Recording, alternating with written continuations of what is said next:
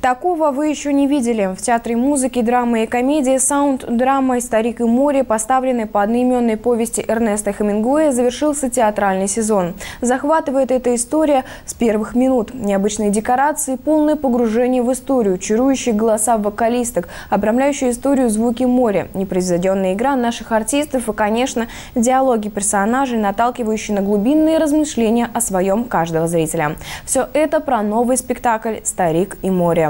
Счастье приходит к человеку во всяком виде. Разве его узнаешь? Спектакль звучит шумом моря, голосами китов, глубинными диалогами главных героев. Он гипнотизирует и заставляет погрузиться в историю всецело. Ощущение, будто ты сам растворяешься в действии, становишься частью воплощенного рассказа. Подкупает и экспериментальный формат чего-то экспериментальный для нас, для трупа прежде всего, потому что это э, драматический спектакль, это тот жанр, который у нас не так давно в театре развивается, в принципе. Это совсем, ну, скажем так, другая манера существования в театре артистов. Поэтому, конечно, для нас это новый. Для нашего зрителя, наверное, на Уральского, это тоже новая форма.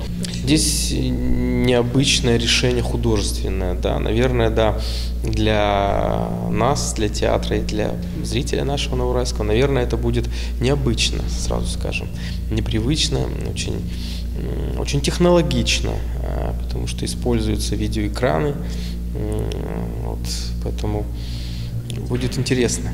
Постановка «Старик и море» не про веселиться. Взятая за основу одноименная повесть Эрнеста Хемингуэя – непростой материал. Затрагиваются извечные темы человеческой жизни. Персонажи и сама история в спектакле сохранены. Постановочная группа создала сценический перформанс, формат которого так непривычен новоуральскому зрителю. Используемое оборудование, видеоэкраны, камеры, трансляция в реальном времени – все это на сцене нашего театра.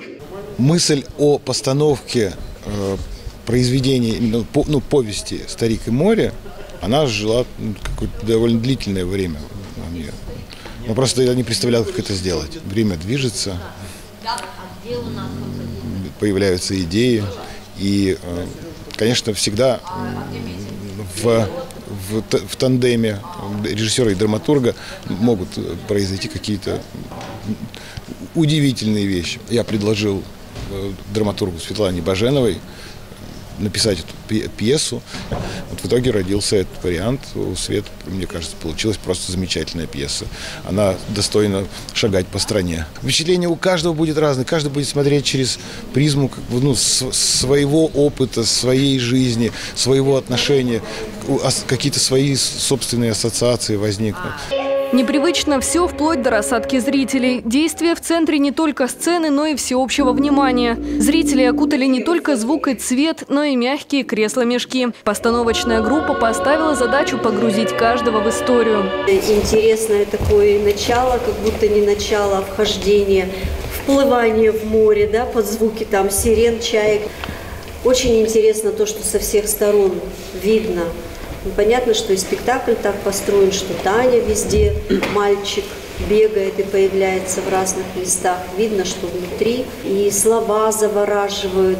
И если вслушиваться в тексты, вообще отключиться от литературного произведения, то возникают, наверное, эмоции очень сильные, не наверное, а возникают сильные эмоции, возникают чувства, возникает осмысление того, что происходит в жизни вообще. Все, что было прочитано когда-то 150 лет мною, я, конечно, это все забыла, но все равно я же представляла, что это за произведение. Вот оно нисколько не потерялось, а визуально оно приобрело еще больше. Я, конечно, читала Хемингуэя, но это было очень давно. Все время думала, чем закончится вот это произведение, и поняла, что фабула этого произведения вообще без разницы какая. Ушел он в море, вернулся, не вернулся, не в этом суть, а вот именно внутренние переживания, и они на острие в данный момент. Поэтому произведение просто шикарное, оно необыкновенное, и такого в театре у нас не было. Симбиоз профессионалов своего дела, полный творческий полет помогли воплотить на сцене театра музыки, драмы и комедии настоящую сенсацию. В эти выходные состоялись два премьерных и завершающих сезон показа. Отзывы зрителей исключительно положительные. Премьера завершила 72-й театральный сезон и надеемся увидеть постановку вновь уже в следующем. Елена Мельникова, Данила Запивалов, Новоуральская вещательная компания.